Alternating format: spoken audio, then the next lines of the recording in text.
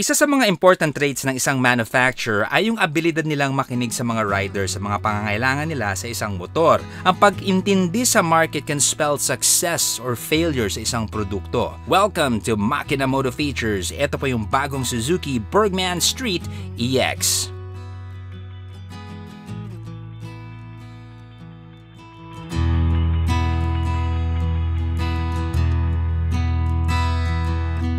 Two jumps and a wake. I bet you think that's pretty clever, don't you, boy? Flying on your motorcycle, watching all the ground beneath you drop.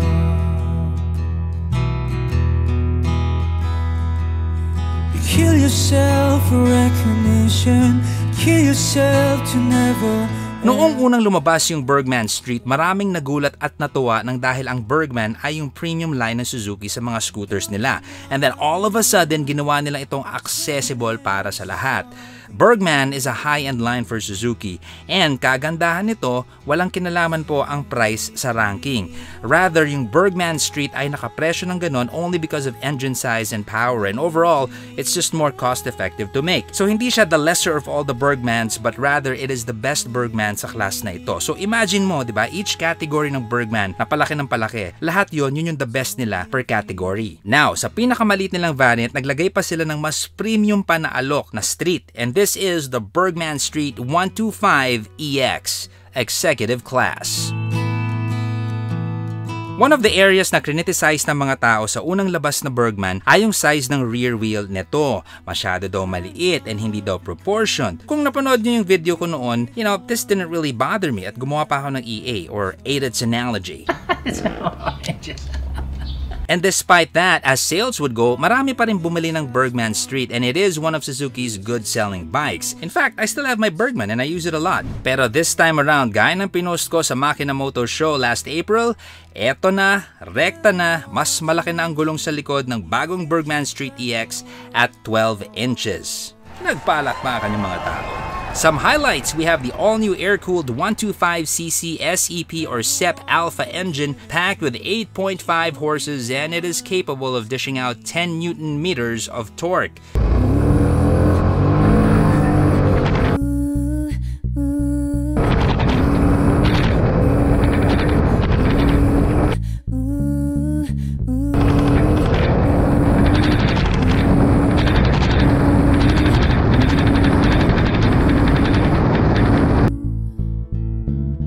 Transmission po natin ay CVT. We have the engine auto stop start system and silent starter system. Suspension sa harap, meron tayong telescopic coil spring that is oil damped. Suspension sa likod, swing arm po tayo, also oil damped. Brakes natin sa harap ay disc, sa likod naman ay drum brakes. Timbang niya ay nasa 112 kilos. Fuel injected tayo and meron tayong both kick and electric start. Fuel tank capacity nasa 5.5 liters. Now, according to the WMTC or World Motorcycle Test Cycle, this can do 52.6 kpl.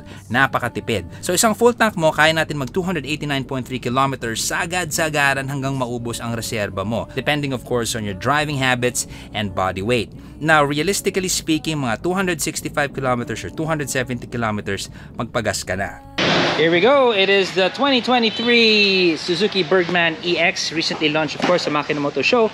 And we are excited nung ito ay lumabas. Hot cake ang standard version ng Bergman which is That's actually a new color. Sorry, pinasingit ko na rin.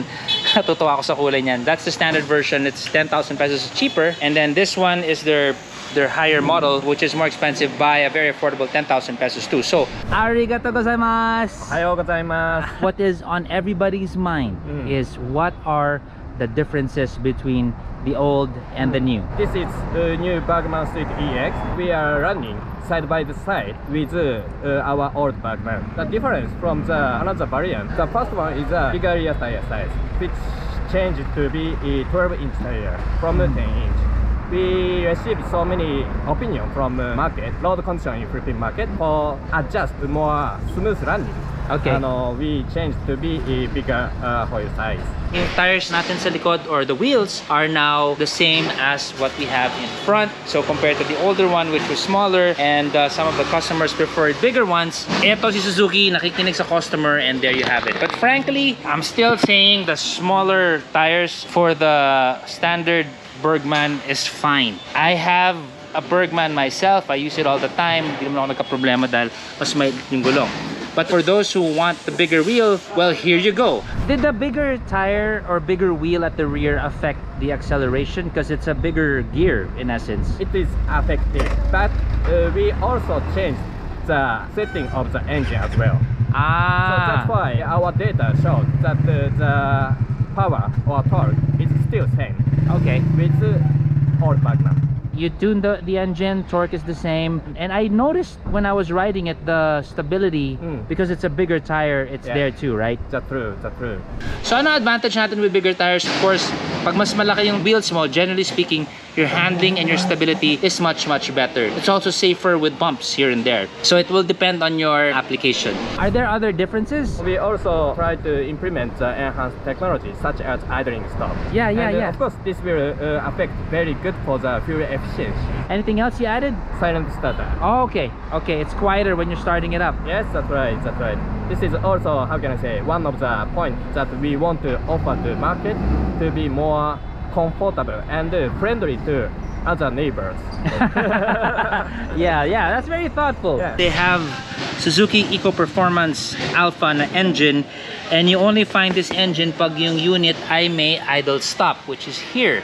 Idle stop when traffic is bad, automatically mamamatay yung engine natin to conserve fuel and para umandar, tathrottle mo na lang siya, aandar na rin siya. And what I've noticed also, it's pretty smooth compared to other idle stops or or stop and go systems that I have tried. Some are a bit on the rough. This is actually very, very smooth. And I think it's also in line dun sa, meron kasi silang silent start also. I'll give you a demo right now so you can hear. Look at how quiet it is. See, that's pretty quiet. One more time.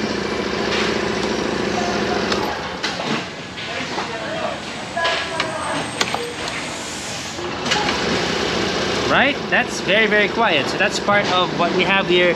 SEP Suzuki Eco Performance Alpha engine. It comes with that silent start, idle stop system. also, one more thing. Yeah. That, uh, uh, our speedometer digital panel is bigger than existing one. Oh, bigger too. Yeah, to easy to show to customer for more easily on the display. On It's the more, panel. it's, it's more visible. yeah, that's right. Take a look at the gauge. This is um, a different gauge. It's bigger now. We got more information. When you hit the adjust average consumption, meron na dyan. If you hit the top, you're gonna see your trip A and trip B and then back to your odometer. To quickly look, our gauge here with the standard one, it is as you see, smaller. So mas malaki yung nakikita natin dito. What we have here, sa lalagyan ng Yossi, meron na po tayong USB port as opposed to yung, yung Yossi sa dati, right? So that's a plus. In terms of capacity and space, I will ask you to also watch my previous feature on the standard Burgman because it's identical in terms of the space, in terms of the U-box, and uh, what we have here, sinabatest na natin and all of that. And I must commend Suzuki with what they did with the floorboard. No matter what color from the standard that's black to what they have here at brown, it's still really, really, really nice. Metallic bronze, it's like a metallic type of brown, but you can see it in person. I don't know if looking at it through the video will give justice to the color but for me pag in-eyeball mo versus what I see on screen mas maganda siya makita in person. As I noticed it's a two-tone scheme with a seat dark and then you have brown here with the one that we see here which is next to me. It is one tone. Still nice at least with this color. Foam and comfort it's all there. In terms of how they put the black chrome po tayo dito. As I understand the first release of the Burgman with the standard one was also chrome. This one is now chrome and this one is now black with this color. Wish list ko lang, sana nagkaroon sila ng gantong kulay dito sa model na ito. Parang ano yun, no? lagi lang tayo nagre-request sa manufacturer. Sana ganto, sana ganto. But it's a really nice color. I mean, mapapaisip ka eh. Moonstone gray is what they call this. Apart from that, ating busina. Beep, beep, beep, beep, beep, beep.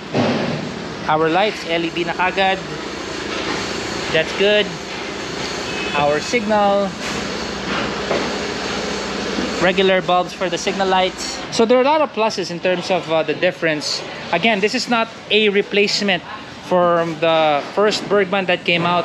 This is uh, actually another variant of the Burgman. The original Burgman priced 10,000 cheaper. It's still out in the market kung yan ang type mo. And then if you wanna up the ante a bit you have the Burgman Street EX ありがとうございますありがとうございますおはようございます Okay.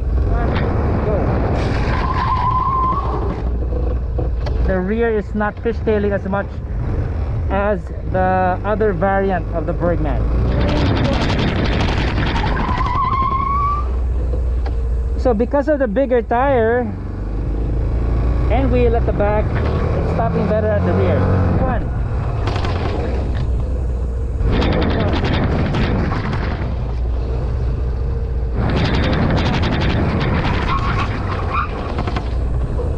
Okay, 2-1. Very good with both brakes now. 2-1. Good braking.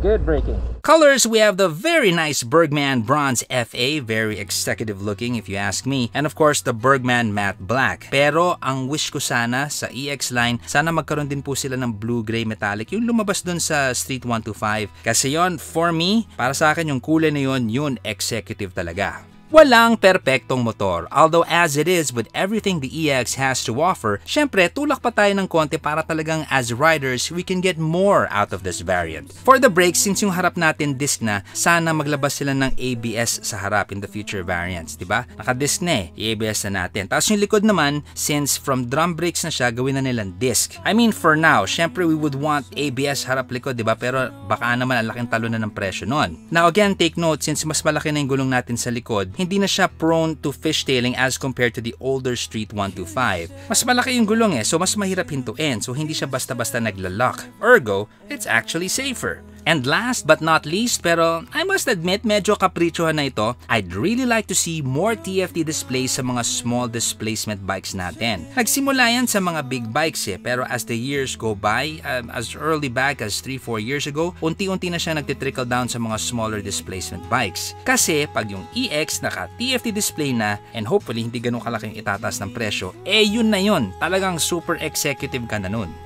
At 92,400 you get the Burgman badge in a smaller package with all the changes incurred and upgrades from the Street 125 considering here we have actually another killer offering from Suzuki sa mga allergic sa maliliit na gulong. Ito na ang sagot ng Suzuki. Like what I said sa simula ng video na ito, listening and considering what the market wants and needs is a very important trait for any brand. And it's good that we see Suzuki display this character time and time again. Ito po si Sir Sack ng Makinamoto Features na nagsasabing, Ciao!